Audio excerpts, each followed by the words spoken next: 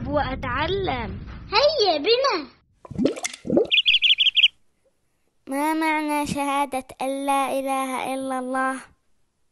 أي لا معبود بحق إلا الله وما معنى شهادة أن محمدا عبده ورسوله؟